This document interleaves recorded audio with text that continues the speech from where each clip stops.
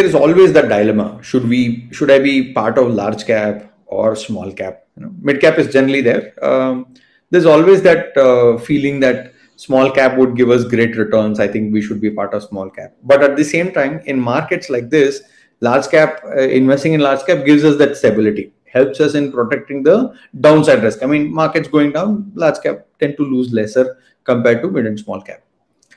So, and shifting between large, mid, and small is also a task. It's not so easy for a individual investor to say that okay, now is the right time for me to shift out of small cap and give higher allocation to uh, large cap. So there is some bit of active management skills involved as and when the market trends keeps on changing, so that you stay ahead of the market.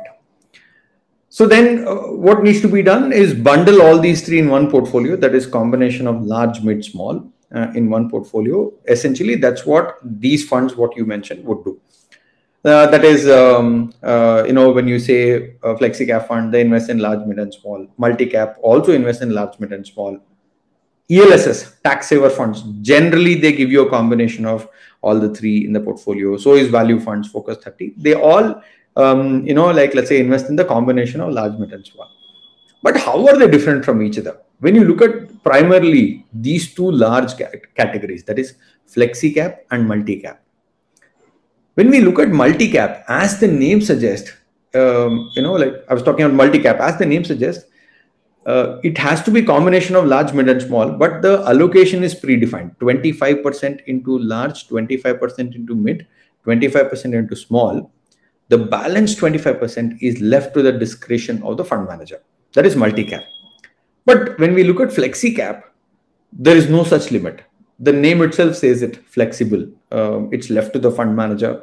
You can have a fund where one fund house is investing 70% in large, 20% in uh, mid and 10% in small and then maybe another fund house could say 80% in large 15% in mid and 5% in small so uh, it is completely left to the discretion of the fund manager um, in flexicap so uh, that's that's how the difference but if you have to look at it from a risk assessment point of view 25% uh, in mid 25% in small so we are talking about 50% allocation to mid and small cap all the times that is why multi-cap fund uh, tend to be slightly riskier or more volatile compared to uh, flexi cap fund. Uh, theoretically, that's how it should work.